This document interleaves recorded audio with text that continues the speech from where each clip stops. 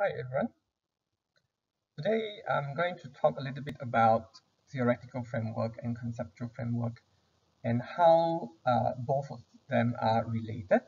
And I'll start off with a phenomenon and I will bring you through the process um, to know how theoretical framework and the conceptual framework comes together.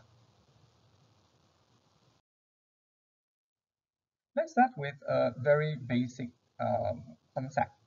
Um, well, in this sharing, um, I will avoid some of the technical jargons. I will try to make it very simple so that uh, all of you can have an understanding of the whole idea. Okay, let's say let's say you want to understand a phenomenon.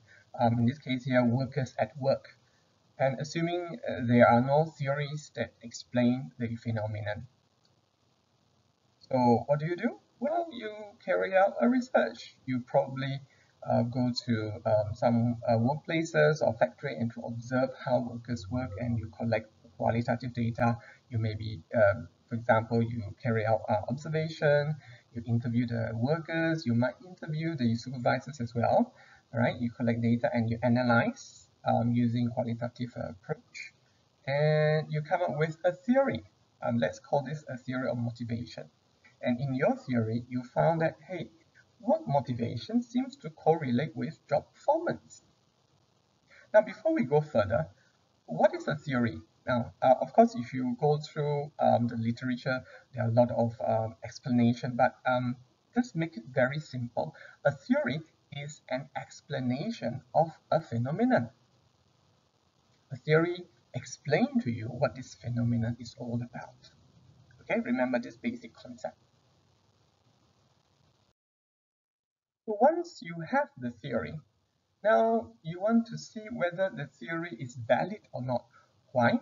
Because you develop the theory based on your observation on a group of people who works in um, a specific company in a particular country and you were wondering whether this theory is applicable to other organizations, uh, maybe another group of samples or maybe in another country.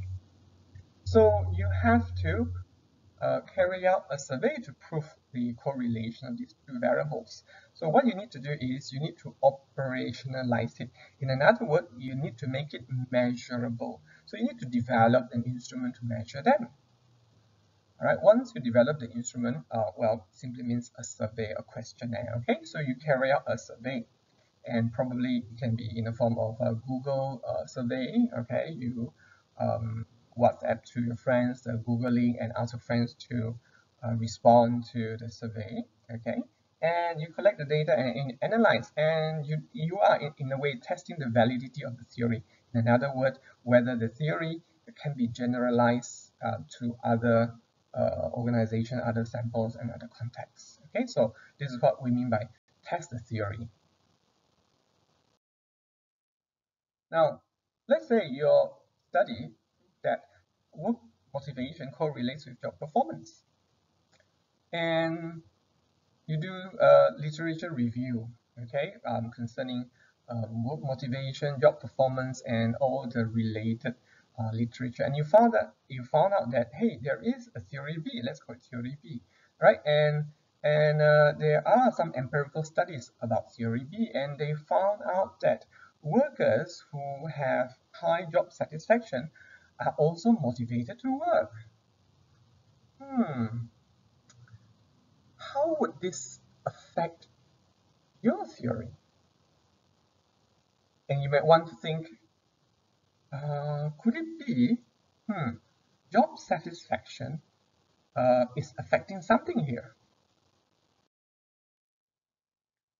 So you will develop a conceptual, uh, sorry, a theoretical framework in this case. In another word, you pull the two theories together, okay, before you do more analysis, okay, you pull the two, two theories together, and these two theories are going to help you to explain, okay, or to interpret, to explain your uh, research outcome later, okay. So the purpose of having a theoretical framework is to pull the relevant theories on a subject matter that you want to study so that after you have collected the data, you are able to use this theory to explain the phenomenon, right? To explain the results. That is the main purpose of a theoretical framework. Okay, so now since you know that probably, uh, probably uh, job satisfaction might be affecting some of the variables. So what you can do is you put these two, uh, these three actually uh, concepts together. Sometimes it's called variables, technically it's called variables. Huh? Right? You put all these variables together. Uh, your motivation theory says work motivation affect job performance. And theory B says probably job satisfaction could affect work motivation. So you put the three together instead of two, now you have three. So this is a new conceptual framework, or some sometimes people call it a conceptual model, or sometimes simply means they simply call it model. All right. So sometimes you may you may hear people say, "Hey, uh, have you come up with a new model?" So what are you talking about? What model? Oh, I have theory, I have concept, but what is model? So sometimes people are referring to this conceptual framework. All right. In other words, what are the variables? Okay, from the theory, the theory tells you something. All right. So you put all the variables together or concepts together form a conceptual framework. So a conceptual framework is basically uh, a framework or a model that puts together all the important concepts or sometimes it's called variables. Okay, so it looks like this. So once you have this, then what do you need to do next? Yes, test it. Okay, you test the new model. Right, so from the conceptual framework, you develop the hypothesis. Okay, um, hypothesis of the three variables. Okay, um, job satisfaction has significant uh, relationship, positive relationship with uh, work motivation. Uh, work motivation has a positive significant relationship with job performance. Okay, you develop the hypothesis, right? I won't go into details. Then you develop an instrument to measure the, the three variables that you have. Okay, and you need to test before you use the instrument. You need to test the validity and the reliability of the instrument okay and then you carry out the survey. Okay you ask people to answer uh, maybe it can be based on a targeted group because you want to find out whether uh, this theory can be uh, applicable or it can be applicable to that particular group of people. All right you collected the data and you run the analysis and then you come up with some uh, decisions whether you would uh, accept or reject the hypothesis and then you interpret the results. So what do you mean by interpret the results now, to interpret the result means uh, these are the hypotheses, whether you accept or you reject. And the next thing is you look back, all right? You look back, go back to your literature review. Uh, what did the past studies say about the relationship, whether it is positive uh, or negative, whether it's uh, significantly uh, correlated or not, okay? So you go back to your literature and to see whether your findings are consistent with um, those reported by your past studies, okay? Uh, if yes, and why? Maybe, okay? Maybe, well, you have lesser question if it is yes. But what if no, uh, your findings is different from past studies? And that is the area where you need to, to go deeper because that would be your contribution. How come um, the relationship um, it's uh, uh, uh, insignificant. Okay, so that is something that is worth your uh, attention to actually interpret them. All right. And um, after you look at your past studies, probably you can look at the theories, okay? In another word, you go back to look at your theoretical framework. What does the theoretical framework say about the relationship of these variables and whether it is consistent with your findings? Okay, so two things remember. You go back to the past studies and um, look for clues, okay, whether it's consistent, not consistent, or why is it not um, the same, okay? And you look for theory, all right, because Theory is an explanation of a phenomenon.